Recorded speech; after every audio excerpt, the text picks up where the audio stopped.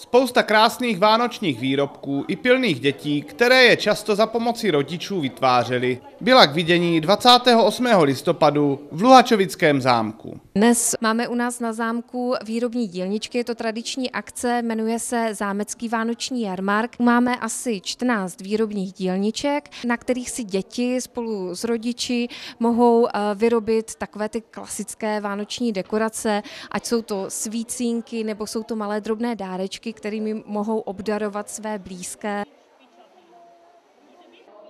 Vznikala také vánoční přáníčka, osobitě vyzdobené polštářky, andělíčci nebo obrázky s malovanými kamínky.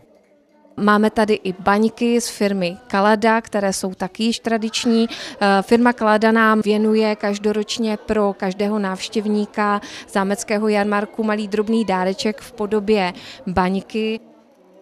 Na oblíbenou akci dorazila řada lidí z Luhačovic i okolí. Každoročně sem jezdíváme, co se dílničky dělají. Je to velice pěkná akce pro děti a obdivuju všechny ty maminky a ty, co si to tady připravili pro ně, že mají spoustu perfektních nápadů.